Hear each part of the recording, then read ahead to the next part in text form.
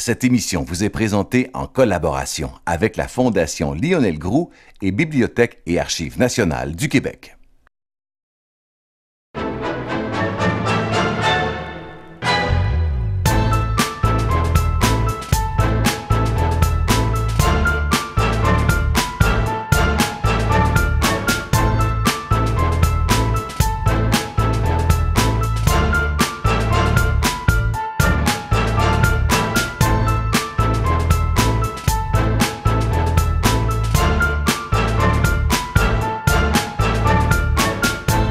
Journées qui ont fait le Québec, c'est dix dates clés qui vous permettent de revivre les grands moments de notre histoire. Aujourd'hui, l'avocate et doyenne de la faculté de droit de l'Université Laval, Eugénie Brouillet, nous fait revivre la naissance du Canada par l'acte de l'Amérique du Nord britannique. Le 1er juillet 1867, les provinces maritimes constituées du Nouveau-Brunswick et de la Nouvelle-Écosse ont décidé de s'unir au Québec et à l'Ontario pour former la Fédération canadienne une union permettant la mise en place d'un système de défense des colonies britanniques et l'établissement d'un marché économique commun s'étendant d'est en ouest du pays. Les Québécois exigèrent un régime fédératif pour garantir leur épanouissement en tant que peuple distinct. Leurs espoirs étaient-ils fondés? Quel était l'esprit et la lettre de cette nouvelle constitution? Et comment a évolué la fédération? Voyez donc dans quel contexte et compromis né le Dominion. Sans plus tarder, je vous prie d'accueillir l'avocate, la professeure en droit constitutionnel, elle est doyenne à la faculté de droit de l'Université Laval, Eugénie Brouillet.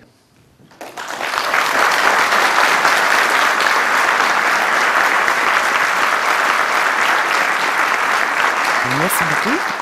Le 1er juillet 1867, M. Ricard le mentionnait, marque l'entrée en vigueur de l'Acte de l'Amérique du Nord britannique, le texte juridique fondateur de la Fédération canadienne.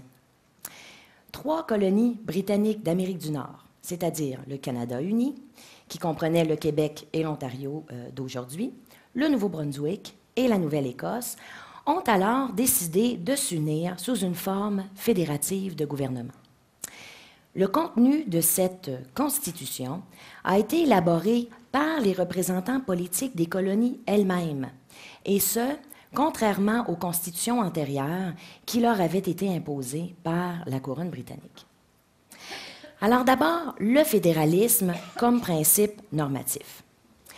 Le choix du principe du fédéralisme comme fondement d'un régime constitutionnel emporte un certain nombre d'implications sur le plan des valeurs et sur le plan juridique. Je vais donc exposer brièvement d'abord les grandes distinctions à faire entre un État unitaire et un État fédératif. Un État unitaire, c'est un État au sein duquel n'existe qu'un seul Parlement et qu'un seul gouvernement. Et ce Parlement et ce gouvernement sont compétents pour adopter des lois sur l'ensemble des matières de législation. En d'autres termes, sur l'ensemble des sujets sur lesquels l'État peut légiférer. Et lorsqu'il légifère, il va viser les citoyens qui se trouvent sur l'ensemble du territoire étatique.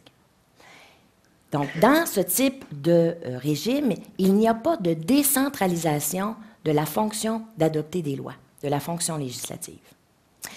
L'État fédératif, lui, c'est le régime au sein duquel la décentralisation est la plus poussée. Alors pourquoi je dis ça? C'est que contrairement à l'État unitaire, l'État fédératif implique une décentralisation de la fonction législative, du pouvoir d'adopter des lois. Ce pouvoir va s'exercer à deux niveaux.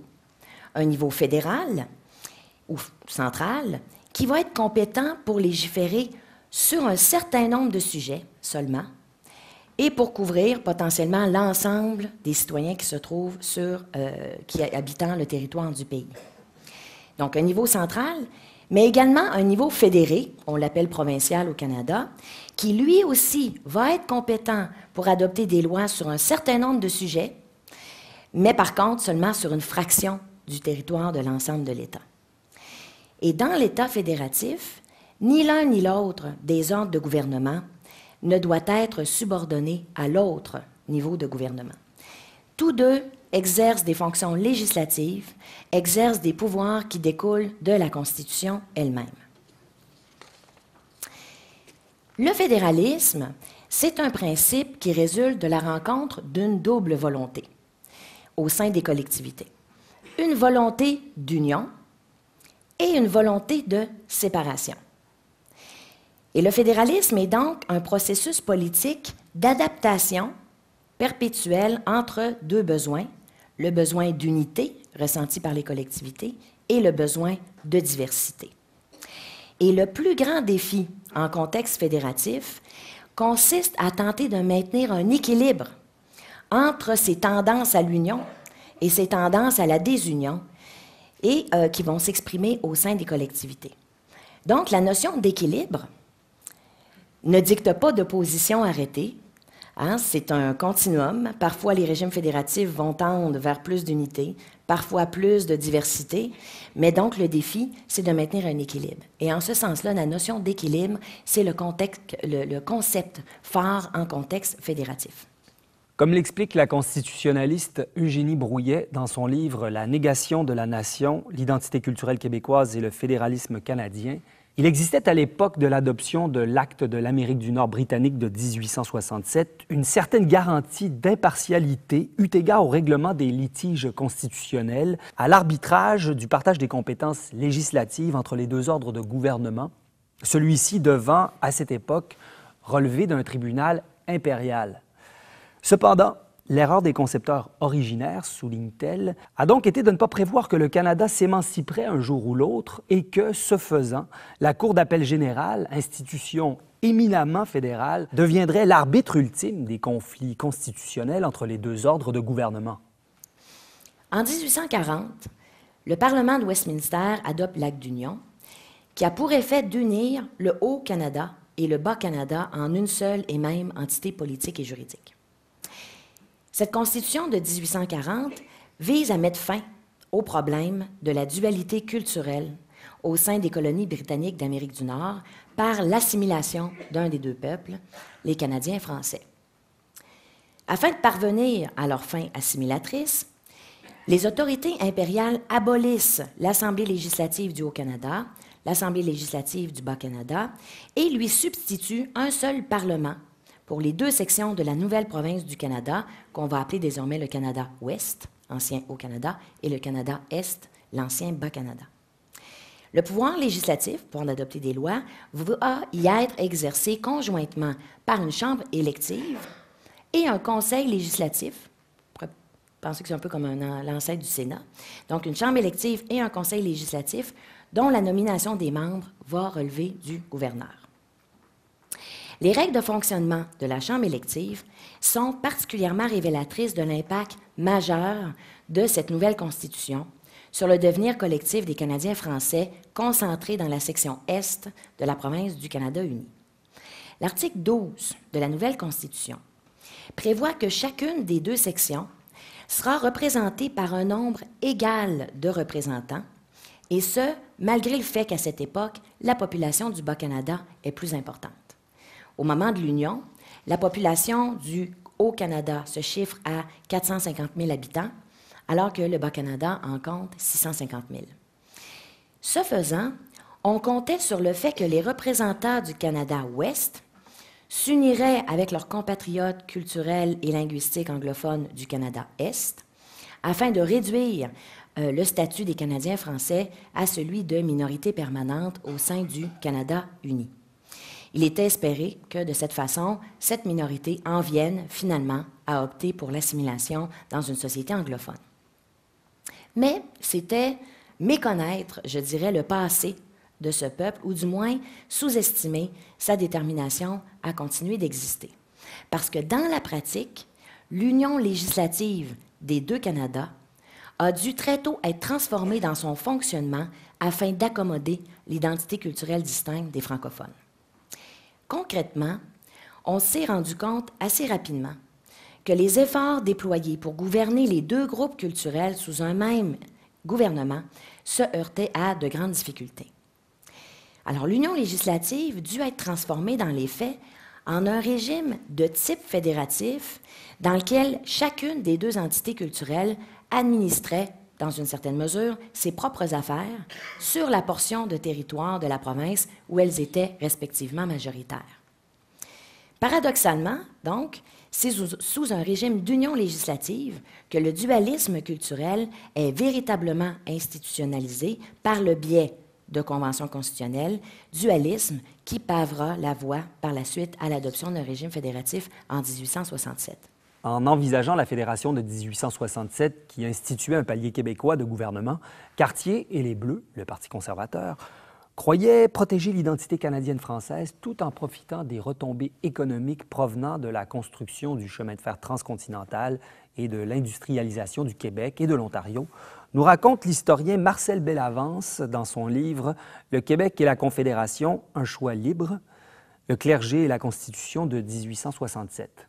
Bellavance explique que ce nationaliste opportuniste, garant de la survivance, s'était substitué depuis l'Union au nationalisme libéral et autonomiste des patriotes comme pensée nationale dominante. Les conservateurs, donc les Bleus, appuyés par le clergé, bâillonnaient le Parti rouge du Bas-Canada, c'est-à-dire celui des libéraux, héritiers des patriotes, opposés à la Confédération et qui prônait une société démocratique, républicaine, déconfessionnalisée, où le pouvoir décisionnel du peuple serait souverain. Bellavance insiste. De tous les partis existants en Amérique britannique en 1864, le Parti libéral du Bas-Canada fut le seul parti d'opposition à ne pas être invité à la conférence de Québec.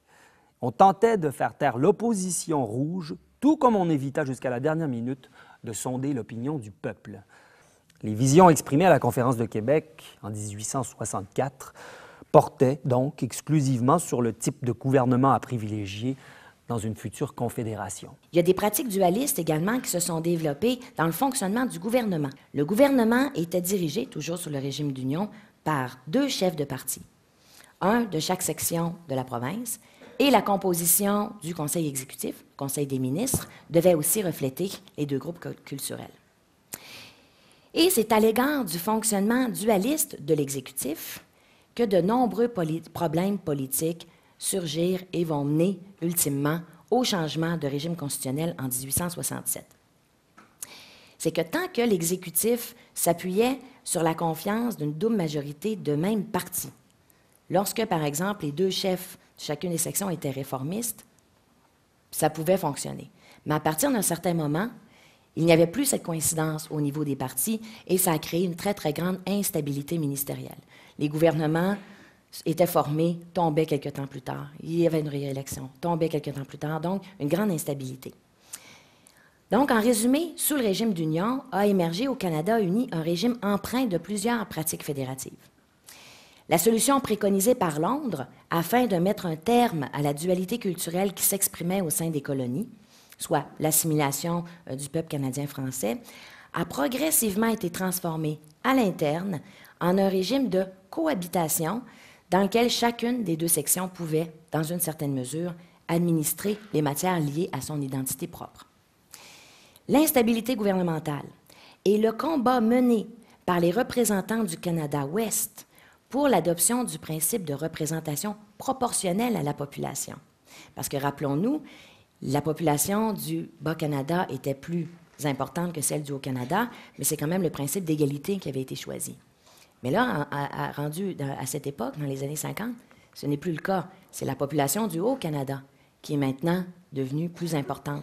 Alors, il y a des très fortes pressions de ce côté pour qu'on remplace le principe d'égalité de représentation par celui de représentation proportionnelle à la population. Et donc, ça rendait inévitable l'élaboration d'une nouvelle constitution. Quelques mots sur l'historique du projet de fédération. C'est lors de la session parlementaire de l'été 1858 que débute, pour ainsi dire, la concrétisation politique du projet de fédération des colonies britanniques d'Amérique du Nord. Le député de Sherbrooke, Alexander Galt, propose à l'Assemblée législative du Canada uni une motion dans laquelle il présente son plan de fédération comme solution véritable aux nombreuses difficultés éprouvées sous le régime d'union dont je viens de parler. Son projet de fédération comprenait le Canada-Ouest, le Canada-Est, les provinces maritimes, les territoires du Nord-Ouest et ceux de la baie du Thon. Bien que sa motion ne reçut pratiquement aucun appui, on est en 1858, son entrée dans le nouveau gouvernement MacDonald-Cartier on se rappelle, toujours deux chefs de gouvernement, au poste de ministre des Finances, va faire tourner le vent. C'est qu'il avait conditionné son entrée dans le cabinet, à titre de ministre, à l'acceptation que son projet de fédération devienne une question prioritaire du gouvernement. Il s'agit donc d'un pas en avant certain dans la réalisation ultime de l'Union fédérative. Alors, conformément au programme du gouvernement, Cartier accompagne, Georges-Étienne Cartier, accompagne Alexander Galt dans une mission à Londres à l'automne 1858. Ils vont alors présenter au secrétaire aux colonies un mémoire recommandant l'union de toutes les provinces de l'Amérique du Nord britannique comme seul remède aux difficultés vécues par les deux sections du Canada et aussi comme moyen de consolider la puissance britannique sur le continent. En conséquence, le mémoire demande au gouvernement impérial d'autoriser une rencontre de délégués de toutes les colonies afin de considérer une union fédérative et de euh, discuter des principes sur lesquels elle devrait être fondée. La réponse de Londres est négative. L'adoption d'un régime fédératif pour ces colonies nécessitait le développement de voies de communication entre elles par le biais d'un chemin de fer intercolonial. Et à cette époque, la métropole n'était pas encore prête à débloquer les fonds nécessaires à cette grande entreprise. Il y a d'autres raisons, mais il y a notamment celle-là. Mais cette initiative des délégués canadiens, bien qu'elle se soit soldée par un échec, a quand même eu pour effet de donner une impulsion importante au mouvement en faveur de la fédération. Bon, les choses traînent jusqu'en 1864, puis les gouvernements successifs euh, se succèdent là, puisqu'ils ont une existence précaire. Mais la crise politique atteint son point culminant le 14 juin 1864, alors que le gouvernement taché MacDonald est défait en chambre et que la province se trouve dans une véritable impasse. Les événements qui suivirent marquent le début d'une période qui mènera finalement à l'adoption du régime fédératif en 1867. Alors là, une coalition se forme, coalition qui permettra la mise en branle du projet fédératif. George Brown, chef des réformistes du côté du Canada-Ouest, accepte de s'allier au nouveau gouvernement conservateur Cartier-MacDonald pour le seul motif que le gouvernement de coalition s'engageait à tout mettre en œuvre pour élaborer un projet de fédération. L'annonce de l'entrée de George Brown dans un ministère de coalition eut l'effet d'une bombe, souligne l'historien Marcel Bellavance. Aux yeux des conservateurs et du clergé, le chef Grit n'était-il pas perçu jusque-là comme le pire ennemi des Canadiens français et du catholicisme? Comme le rappelait l'historien James Morris Stockford Careless dans le Dictionnaire biographique du Canada, Brown avait défendu la cause de l'éducation publique non confessionnelle et de la séparation de l'Église et de l'État, ce qui n'avait rien pour plaire au clergé et tout pour plaire aux rouges du Bas-Canada. À la même époque, les parlements du Nouveau-Brunswick et de la Nouvelle-Écosse adoptent séparément des résolutions autorisant leurs gouvernements respectifs à engager des négociations et à tenir une rencontre afin d'effectuer une union des provinces maritimes. Alors, on a deux processus qui, euh, qui se tiennent en parallèle. La convention, la réunion va se tenir à Charlottetown au mois de septembre 1864. Alors, informé de la tenue de cette rencontre, le gouvernement du Canada uni va saisir cette occasion pour soumettre son projet d'union de toutes les colonies britanniques d'Amérique du Nord et se fait donc inviter à Charlottetown en septembre 1864.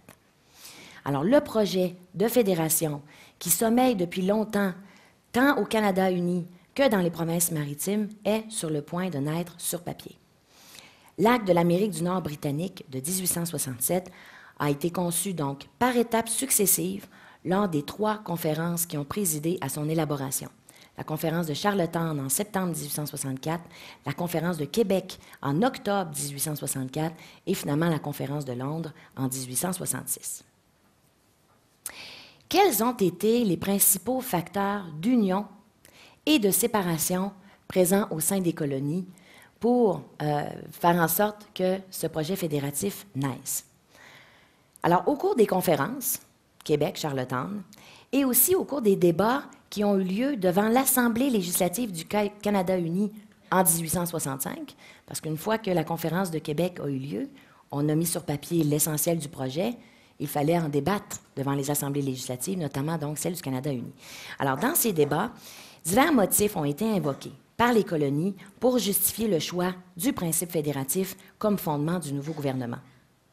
Et on se rappelle, il faut absolument qu'il y ait une rencontre de facteurs qui poussent à l'union et de facteurs qui poussent à la séparation pour que le principe fédératif soit opportun. Alors d'abord, quels étaient les principaux facteurs d'union? Le problème général de la défense des colonies britanniques a constitué une des causes importantes de la naissance de la Fédération canadienne. Ce facteur d'union était aussi présent dans la formation de nombreuses autres fédérations. La décennie 1860 est marquée dans les colonies britanniques par un sentiment général de crainte d'une annexion aux États-Unis. Lorsque la guerre civile éclate chez le voisin du Sud en 1861, les colonies britanniques d'Amérique du Nord constituent toujours des unités politiques indépendantes les unes des autres, dépourvues de systèmes de milices conjoints et efficaces. L'été 1863 constitue un point tournant dans la guerre américaine. Il devient alors assez probable que les États du Nord l'emporteront et qu'ils constitueront alors le plus grand pouvoir militaire du monde. Lorsque cette guerre sera terminée, la question qui se pose, c'est est-ce que l'armée américaine va tenter d'envahir et d'annexer les colonies britanniques d'Amérique? Chez les hommes politiques de l'époque, la possibilité d'une réelle invasion américaine ne fait pas l'unanimité. Cependant, la grande majorité d'entre eux semblent s'entendre à l'effet que les colonies doivent démontrer à la mère patrie qu'elles sont prêtes à faire leur part dans l'organisation de leur système de défense. La politique impériale relative à la question de la défense militaire des colonies s'était graduellement modifiée et la métropole britannique requérait de plus en plus une participation effective de ces colonies. Bien qu'il y ait eu quelques incidents euh, frontaliers et navals, ainsi que l'expression d'intention annexionniste dans certains éditoriaux new-yorkais, la fin de la guerre américaine en avril 1865 n'a pas été suivie par une attaque contre le Canada. Au contraire, la considérable armée de l'Union américaine fut rapidement démantelée. Cependant, se profile à la même époque une autre menace, beaucoup moins sérieuse, mais beaucoup plus immédiate, celle des Féniens, je ne sais pas comment le prononcer, des Féniens. Qui sont les Féniens? Ce sont des militants irlandais installés aux États-Unis et organisés dans une société. Alors, ces soldats irlandais désiraient s'en prendre à la Grande-Bretagne en frappant ses colonies. Alors, ces milices-là attaquèrent en 1866 plusieurs régions frontalières. Alors, les hommes politiques ne manquèrent pas d'utiliser cette menace afin de démontrer la nécessité d'unir les forces militaires des colonies. Voyez comment l'anti-américanisme primaire se lit très clairement dans ces mots rédigés par Georges-Étienne Cartier et adressés au grand vicaire Monseigneur Cazot, qui s'était vu chargé par les conservateurs d'aller convaincre ses confrères catholiques du Nouveau-Brunswick et d'Halifax du bien fondé de la Confédération. Soyez convaincus, écrit Cartier, plus les événements se déroulent, plus nous devons sentir les besoins de la Confédération pour ne pas être absorbés dans l'horrible le vulgaire et l'anticatholique système démocratique de nos voisins. Au cours de la décennie 1860, la situation économique du Canada avait subi les contre-coups de la guerre civile américaine et connaissait une dépression. Les échanges économiques entre les différentes colonies n'ayant à cette époque qu'une valeur insignifiante, l'économie canadienne était très dépendante du traité de réciprocité on pourrait dire un traité de libre-échange, avec les États-Unis. Traité que les autorités américaines semblaient vouloir abroger, ce qui fut fait d'ailleurs en 1866. La majorité des députés fédéraux et québécois étaient en fait d'importants hommes d'affaires. Certains étaient promoteurs et actionnaires dans la construction du chemin de fer. D'autres, anciens ministres ou ministres au pouvoir, comme Georges-Étienne Cartier ou Alexander T. Galt, possédaient des intérêts dans le secteur bancaire, les compagnies de navigation et les assurances les Bleus dominaient dans la bourgeoisie québécoise. Bourgeoisie qui était constituée des groupes privilégiés, autrefois proches de l'aristocratie coloniale, comme les membres de la clique du château, certains anciens seigneurs, des hommes d'affaires parmi les plus importants, et des réformistes modérés qui, à l'instar de La Fontaine et de Cartier, s'estimaient satisfaits de la conquête de la responsabilité ministérielle, leur donnant accès au pouvoir politique et au patronage. Le ministre des Finances de l'époque, dont j'ai parlé tout à l'heure, Alexander Galt, avait fait ressortir les différents avantages économiques de la fédération, dont le plus important, selon lui, était que les, provinces, les colonies, ne dépendraient plus d'une seule industrie. En s'adjoignant les provinces maritimes, le Canada aurait la possibilité de devenir une puissance maritime. Toutes les provinces pourraient ainsi profiter de l'accroissement du commerce qui résulterait de la suppression des barrières tarifaires entre les différentes colonies et ne plus dépendre du marché américain. En somme, il s'agissait de réorienter le commerce dans un axe est-ouest plutôt que nord-sud. Ainsi, comme c'est généralement le cas dans le processus d'union d'entités politiques, les facteurs militaires et économiques ont été les principaux catalysateurs des désirs d'union qui se sont exprimés dans les colonies britanniques d'Amérique du Nord au cours de la décennie 1860. Outre ces facteurs, d'autres éléments ont joué dans le désir d'union au sein des colonies. Bon, d'abord leur similitude en tant que partie d'un même empire et l'existence d'une communauté également de langue et de culture au sein de, je dirais, deux, ennemis, euh, deux colonies ennemies, c'est-à-dire une même culture anglophone du côté du Canada-Ouest, du Nouveau-Brunswick et de la Nouvelle-Écosse. De ce point de vue-là, ça peut être considéré comme un facteur qui a joué en faveur d'une certaine union. La seule présence de facteurs qui poussent à une certaine désunion ne mène pas à la formation d'un État fédératif. Il faut également la présence de certains facteurs euh, militants en faveur d'une certaine séparation. Quels étaient-ils? Alors, plusieurs types de facteurs peuvent jouer de façon générale en faveur d'une union fédérative. Le vécu d'une existence politique séparée, antérieure à l'union en tant que colonie ou État souverain, certains intérêts économiques divergents, ou encore un isolement géographique des collectivités en raison de l'étendue du territoire. Alors, tous ces facteurs de séparation se retrouvent à l'origine de la Fédération canadienne.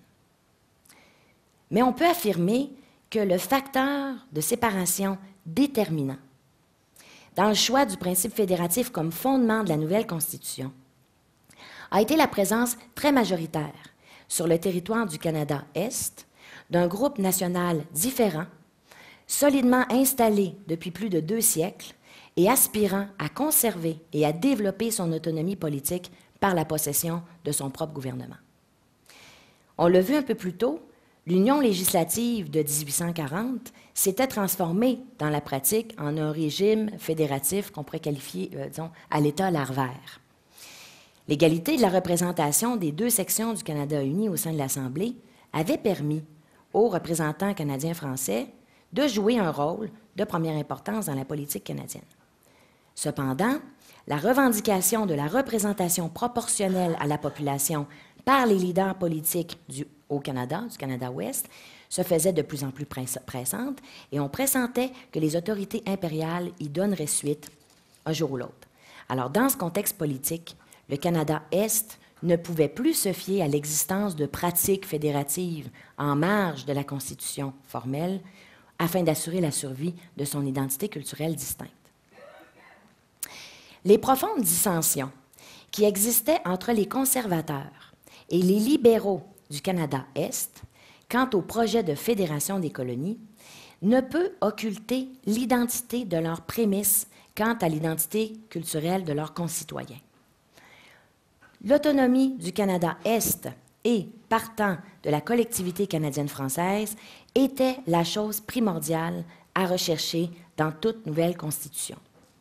Les opinions divergentes quant au projet de fédération avaient trait à la façon d'atteindre cet objectif commun. L'historien Stanley Breo Ryerson rappelle que l'opinion libérale fut muselée tout au long des négociations entourant le projet de fédération. Cependant, Bien que la presse fût majoritairement sous contrôle clérical et que le clergé supportait les conservateurs, il n'en reste pas moins que les libéraux possédaient quatre grands quotidiens d'opposition à Montréal, Le Pays, l'Union nationale, l'Ordre et le Herald. Le plus connu de tous, raconte Marcel Bellavance, était le pays qui défendait l'idéal démocratique incarné dans la République américaine et les idées libérales héritées des révolutions européennes. À part quelques exceptions, cette presse rouge était presque totalement absente ailleurs au Québec. De plus, le clergé se faisait un devoir que de déprécier les idées libérales et démocratiques. Par la voie du confessionnal, les curés menaçaient de refuser leur sacrement aux supporters libéraux, à tous ceux qui osaient recevoir la presse libérale et à tous ceux qui s'opposeraient à la Confédération. Le recours à la religion et aux autorités religieuses comme moyen de propagande et de pression politique s'était pratiqué sous l'Union, mais n'avait jamais atteint un tel sommet. De la lutte entre deux partis émergea la lutte du mal contre le bien, contre les principes conservateurs, du rougisme contre la religion. Les partis libéraux et conservateurs ne se distinguaient plus par leur analyse de la Constitution, mais par la doctrine du libre examen en politique. Pour les conservateurs, l'adoption d'un régime fédératif permettrait au Canada-Est de posséder son propre gouvernement, gouvernement qui serait nanti des pouvoirs législatifs autonomes sur toutes les matières jugées, à cette époque, essentielles à la survie et à l'épanouissement de son identité culturelle particulière. C'est donc à la condition expresse que l'Union soit fédérative que les représentants des Canadiens français du Canada-Est ont jugé, ont accepté, pardon, de s'unir avec les autres colonies britanniques. L'esprit derrière le partage des compétences était donc que les matières d'intérêt commun à toutes les colonies seraient confiées à la responsabilité du Parlement central, du Parlement fédéral, alors que les matières sur lesquelles les provinces possèdent des intérêts particuliers demeureraient sous, leur juridiction exclusive. Or, ces intérêts particuliers avaient précisément étaient précisément ceux liés à l'identité culturelle des collectivités en présence, spécialement ceux des Canadiens français. Comme l'affirmait Georges-Étienne Cartier dans le langage de l'époque, et je le cite, Sous le système de fédération qui laisse au gouvernement central le contrôle des grandes questions d'intérêt général dans lesquelles les différences de race n'ont rien à démêler, les droits de race ou de religion ne pourront pas être méconnus. Fin euh, de la citation. Pour les bas canadiens, les habitants du Canada-Est, euh, si une certaine forme d'association avec les autres colonies était nécessaire, le degré d'intégration ne devait pas dépasser le seuil requis pour la viabilité militaire et économique euh, du Canada-Est, du futur Québec. Alors, dans cette alliance fédérative, le Québec serait le pays des Canadiens français, travaillant avec d'autres sur des projets communs, mais toujours autonomes dans la promotion de la nation canadienne-française. Et pour citer encore une fois Georges-Étienne Cartier, comme nation, dans la nation, nous devons veiller à notre autonomie propre. Fin de la citation. Cela m'amène à vous parler de quelques acteurs de l'époque de la naissance de la Fédération et de leur vision du nouveau pays. Bien que les auteurs s'entendent généralement à l'effet que les pères fondateurs de la Fédération canadienne aient été beaucoup plus des hommes concernés par des considérations pragmatiques que par des idées de philosophie politique, il n'en demeure pas moins que certaines visions du nouveau pays projeté ont eu cours et se sont exprimées par la bouche de certains pères fondateurs. Parmi ceux-ci se trouvent au premier rang John A. MacDonald et Georges-Étienne Cartier.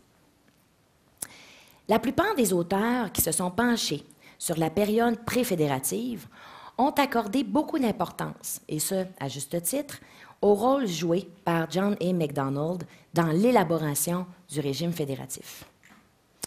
Ce dernier fut en effet un des principaux concepteurs du nouveau régime, régime qui, à plusieurs égards, porte son empreinte. Quelle était sa vision du nouveau pays projeté? Certains extraits de son discours sur le projet d'union devant l'Assemblée législative du Canada uni en 1865 peuvent nous éclairer à ce sujet-là. D'abord, parlant du projet initial d'union des provinces maritimes, il affirme ce qui suit, et je le cite. Personne ne savait encore si cette union devait être législative ou fédérale. Mais ce que tous voulaient, c'était d'arriver à une mesure qui aurait l'effet de ne faire qu'un seul peuple de trois peuples différents. Fin de la citation. Il poursuit son discours en expliquant la suite des événements quant au projet d'une union générale au cours de la conférence de Charlottetown. Je le cite à nouveau. Nous fîmes part aux délégués de nos vues assez longuement et pûmes tellement les satisfaire par les raisons que nous apportâmes à leur appui, et si bien les convaincre des avantages d'une union générale sur une union particulière, qu'ils mirent de suite de côté leur propre projet, il parle du projet des promesses maritimes, et se rallièrent à l'idée de former une grande nation et un gouvernement fort. Fin de la citation. Alors, cette idée de MacDonald qu'une union politique des colonies sous un gouvernement fort permettrait de ne faire qu'un seul peuple peuples différents, laisse entendre qu'il présumait que ces peuples différents disparaîtraient progressivement en se fondant dans un tout homogène, dans un seul peuple. Il exprime son opinion quant à la forme du gouvernement qui devrait être privilégiée selon lui. Bien qu'il eût préféré de loin une union législative, un État unitaire, qui aurait permis, selon lui, la mise sur pied du meilleur, du moins dispendieux, du plus vigoureux et du plus fort gouvernement, il se voit dans l'obligation d'y renoncer, en raison particulièrement de la présence au Canada-Est d'un peuple désireux de conserver son autonomie sur les matières liées à son identité. Alors, ce n'est qu'à reculons et en raison de la nécessité que le Canada-Est soit parti à l'Union projetée que MacDonald consent à une forme fédérative de gouvernement. Cependant, bien qu'il ait fait cette, cette, concession de principe, MacDonald ne modifie pas sa conception relative à ce que devrait être la nouvelle nation canadienne, c'est-à-dire une nation qui ne ferait pas que se superposer à celle existant à l'intérieur du nouvel État, mais qui un jour les supplanterait, pour ainsi devenir le seul pôle d'identification de l'ensemble des citoyens. En effet, plusieurs auteurs l'ont souligné, et ça ressort également clairement de ses interventions devant l'Assemblée législative en 1865, sa vision du fédéralisme canadien était nettement centralisatrice et postulait une certaine subordination des provinces au gouvernement central. Cette vision de la nation canadienne, défendue par MacDonald, n'était toutefois pas partagée par l'ensemble des concepteurs originaires du régime, et ce, dans les rangs même des défenseurs du projet.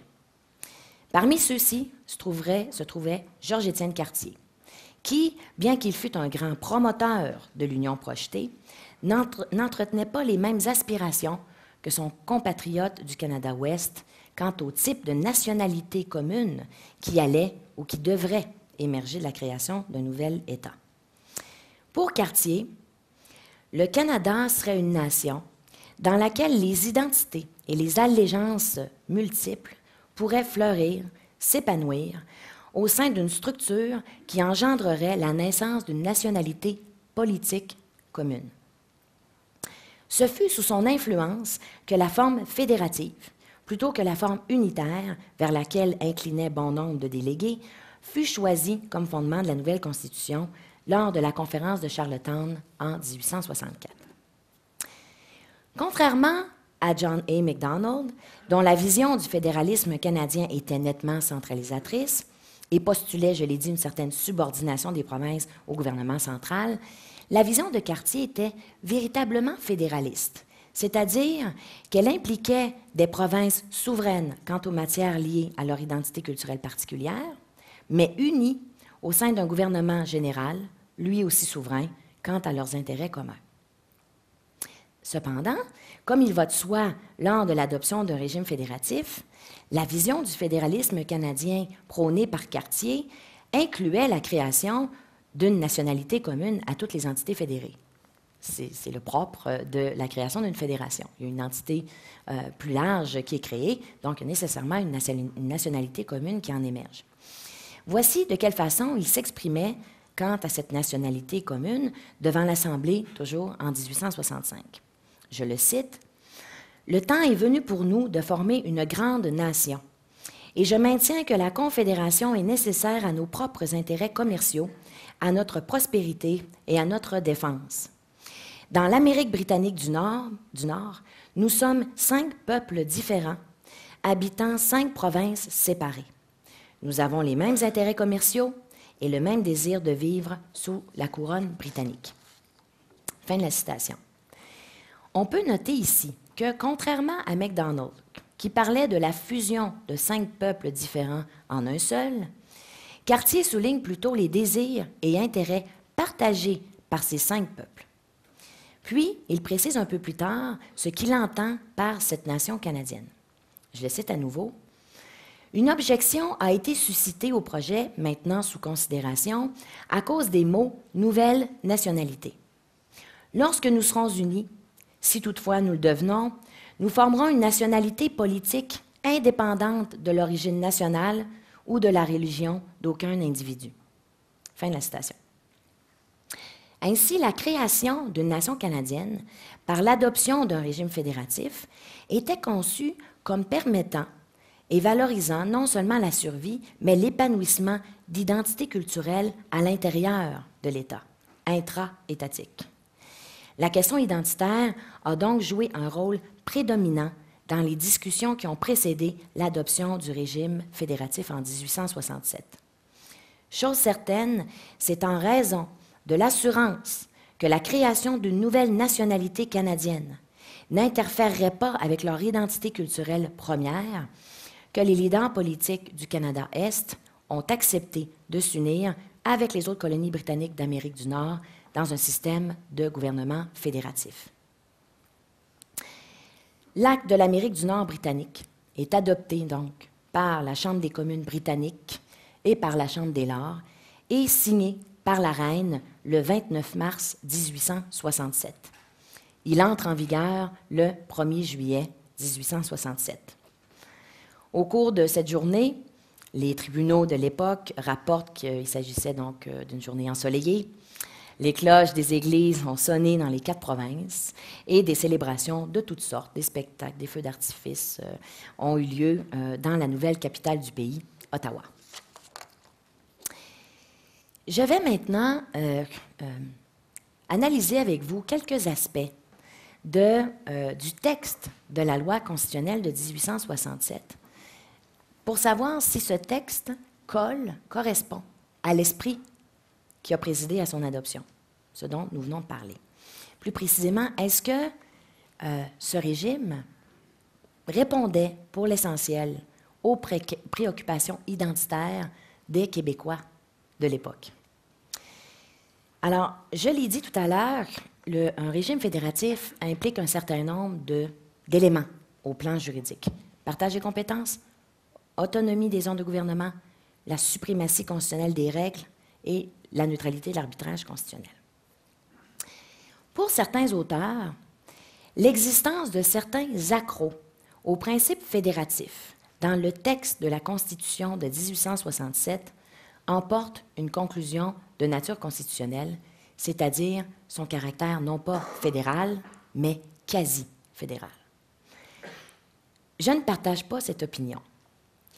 La loi constitutionnelle de 1867, c'est le nouveau nom que porte maintenant l'acte de l'Amérique du Nord britannique.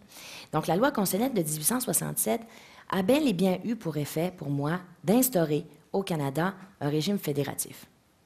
Probablement centralisé, mais un régime fédératif tout de même, et ce, dans toutes les exceptions de cette notion. Le préambule de la loi constitutionnelle de 1867 énonce que les colonies, et je cite, ont exprimé le désir de contracter une union fédérale.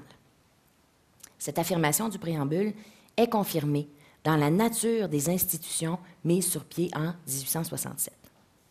D'abord, le partage de la compétence législative. Les articles 91 à 95 de la loi constitutionnelle de 1867, que je vous invite à aller consulter, euh, donc pourvoient au partage de la fonction législative entre les ordres de gouvernement fédéral et provincial. Les articles 91, 92 et 93 dressent deux listes de matières. La première, l'article 91, faisant référence aux matières, aux sujets sur lesquels le Parlement fédéral pourra légiférer en exclusivité, et les articles 91 et 93 dresse une liste de matières de compétences provinciales exclusives. Tout comme c'est le cas au sein de tout État fédératif, le partage des compétences a été effectué suivant la distinction entre les affaires d'intérêt commun et celles d'intérêt particulier. Étant donné que l'objectif principal de l'Union fédérative avait trait aux aspects économiques et militaires, dont nous avons parlé tout à l'heure, la compétence législative sur les matières se rapportant à ces domaines a été confiée au Parlement fédéral. Donc, on lui a confié, j'en énumère euh, quelques, compétences, euh, par exemple, la compétence de prélever des deniers publics par tout mode ou système de taxation, le pouvoir de légiférer notamment en matière de réglementation des échanges et du commerce, des banques, de la monnaie, de la navigation, de la milice, des services militaires et de la défense du pays. Les matières de compétences provinciales exclusives, elles, couvraient en général toute la vie interne des provinces, donc toutes les matières liées à leur style de vie particulier. Les provinces conservaient, par exemple, sur leur territoire respectif, le pouvoir de légiférer en exclusivité sur la propriété et les droits civils, l'éducation, les institutions municipales, la célébration du mariage, les travaux et entreprises d'une nature locale, l'administration de la justice, euh, bref, et, j'en passe. Donc, lorsqu'on examine le partage des compétences, on peut conclure qu'il rencontre, à l'époque, euh, de façon adéquate, des facteurs d'union et de séparation présents au sein des colonies. Qu'en est-il maintenant du principe d'autonomie? Le principe d'autonomie est expressément enchâssé dans la Constitution de 1867. Les paragraphes introductifs des articles 91, 92, 93, dont j'ai parlé tout à l'heure, énoncent que chacun des ordres de gouvernement pourra, en exclusivité, donc c'est-à-dire à, l'exclusion de l'autre ordre de gouvernement, faire des lois sur les matières, les sujets qui sont énumérés. En d'autres termes, chacun des deux ordres de gouvernement sera souverain ou autonome dans ses champs de compétences. La question de l'autonomie du Parlement fédéral dans ses champs de compétences ne semble pas avoir engendré de discussions particulières au cours des conférences préfédératives ni lors des débats devant l'Assemblée législative du Canada uni en 1865. Il en va cependant autrement quant au statut des parlements provinciaux. L'ensemble des délégués conservateurs du Canada-Est s'entendait pour affirmer que dans le schéma de gouvernement proposé, les provinces ne seraient d'aucune façon subordonnées au gouvernement central dans leur champ de compétences exclusives. Les députés conservateurs du Canada-Ouest, eux aussi, ont affirmé à plusieurs reprises que le schéma proposé ne compromettrait pas l'autonomie des provinces. Johnny MacDonald lui-même après avoir marqué sa préférence pour un État unitaire, a dû défendre le caractère souverain des provinces au cours de la conférence de Québec, afin de rallier les provinces, particulièrement le Canada-Est, au régime proposé. Pour les réformistes du Canada-Ouest, la raison première de l'adoption du régime fédératif était de parvenir à un contrôle effectif des affaires locales en, rétablissant leur province comme entité séparée du Canada-Est. Canada-Ouest, avant le, régime d'union, formait une seule entité, le Haut-Canada. Et là, il y avait ce désir des réformistes depuis de nombreuses années de rétablir ce gouvernement euh, distinct. Selon eux, le régime fédératif n'établissait pas de prédominance fédérale. Les libéraux du Canada-Est s'opposaient quant à eux avec force à l'adoption du schéma fédératif. Que désiraient donc les libéraux du Bas-Canada? L'historien Marcel Bellavance, se basant sur le journal Le Pays, publié le 8 août 1867, explique que les libéraux souhaitaient un fédéralisme décentralisé dans lequel les gouvernements locaux auraient eu un pouvoir et un contrôle absolu sur les affaires locales, le gouvernement central ne se voyant déléguer que le pouvoir nécessaire à la sauvegarde des intérêts généraux de la Confédération. C'est qu'on retrouvait on retrouve encore, mais c'est devenu caduque, mais on retrouvait dans le texte de la loi 1867 certains pouvoirs pouvant potentiellement miner l'autonomie des provinces dans l'exercice de leurs compétences législatives.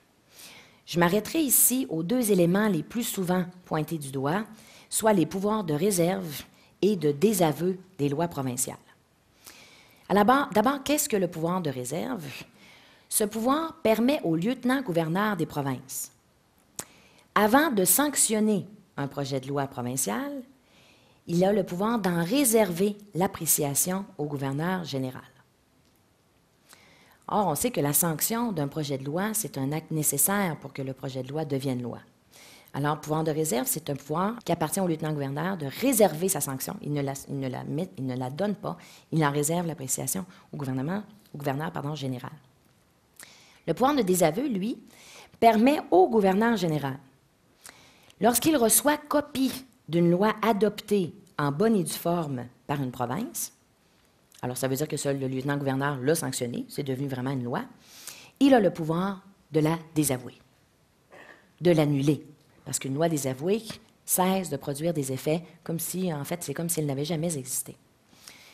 Et, il n'y a pas de motif particulier à faire valoir pour désavouer une loi. C'est un contrôle d'opportunité. Alors, ça peut. Euh, libre choix, donc, au gouverneur général à ce moment-là. Or, la nomination des lieutenants-gouverneurs et du gouverneur général relève du gouvernement fédéral. Alors, ce sont des personnes qui relèvent du gouverneur, du gouvernement fédéral, qui ont le pouvoir donc de soit réserver ou désavouer des lois provinciales. Bon. Aujourd'hui, euh, ces pouvoirs sont devenus caducs par l'effet de conventions constitutionnelles. Et là, l'exercice auquel je vous convie, ce n'est pas d'analyser les impacts contemporains de ces pouvoirs, mais plutôt de faire ressortir ce que les leaders politiques de la période préfédérative en pensaient au moment de leur enchâssement dans la Constitution. À première vue, je pense que nous serons tous du même avis, ces pouvoirs de réserve et de désaveu constituent un accroc au principe fédératif, plus précisément au principe d'autonomie des parlements provinciaux dans leur domaine de compétences. Cependant, même à l'époque préfédérative, il n'était pas conçu de façon si catégorique. Alors, je m'explique.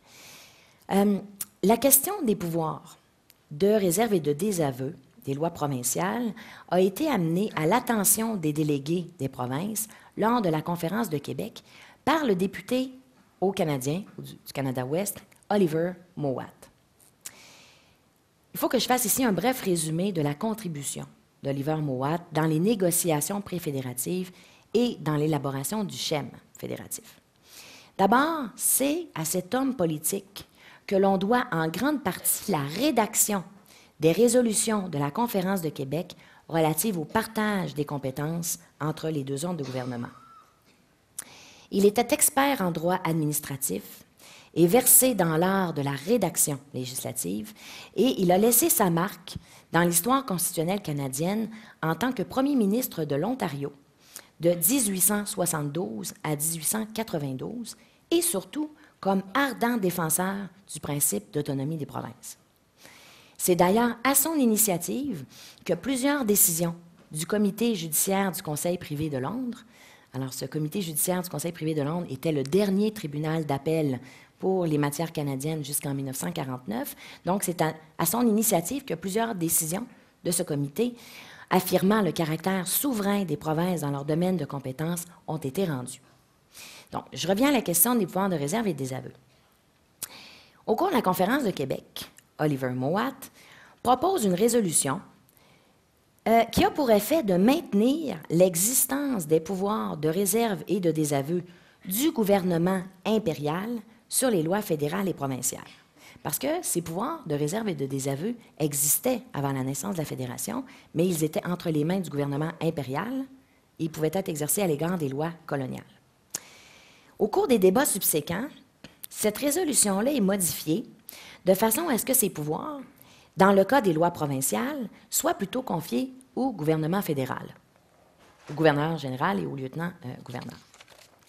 Euh, Il peut paraître surprenant qu'Oliver Mowat, qui était un ardent défenseur du respect du principe fédératif dans les premières décennies de la Fédération, ait fait cette proposition et que par la suite, il ne se soit pas exprimé sur l'existence de ces pouvoirs et sur les circonstances dans lesquelles ils, pourraient être exercés.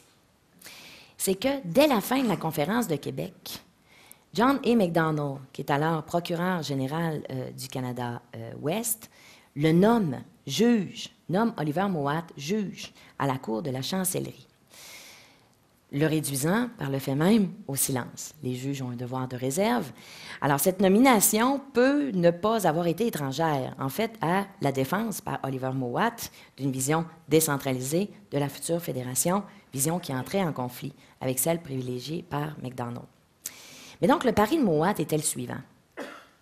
Si les provinces sont des gouvernements responsables vis-à-vis de leur électorat, le fédéral va se voir incapable d'interférer avec elles dans leur sphère de compétences exclusives, de la même manière que le principe du gouvernement responsable avait rendu inacceptables les interférences arbitraires de Londres dans les affaires domestiques des colonies au cours des décennies 1840 et 1850.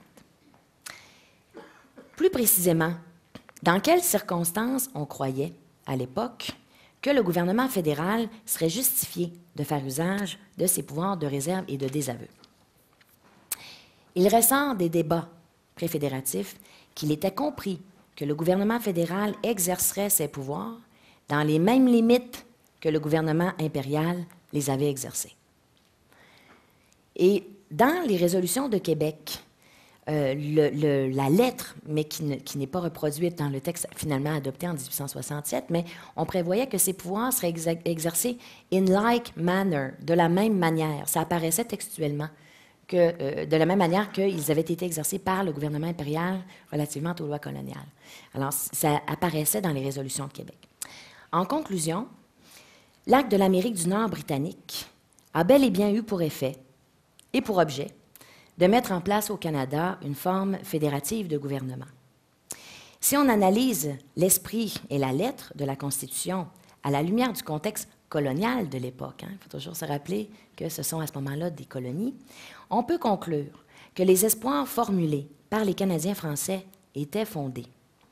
Il leur était permis de croire que ce nouveau pays se développerait de façon à permettre leur protection et leur épanouissement comme collectivité nationale que leur appartenance à une nation canadienne n'impliquerait pas le renoncement à leur identité première, que la nouvelle structure constitutionnelle à laquelle ils adhéraient leur procurerait les outils, les instruments politiques et juridiques nécessaires à la maîtrise de leur destin collectif au sein d'un ensemble étatique plus large. Près de 150 ans après l'entrée en vigueur de l'acte fondateur de la Fédération canadienne le 1er juillet 1867, Force est de constater que ces espoirs ont été en bonne partie déçus.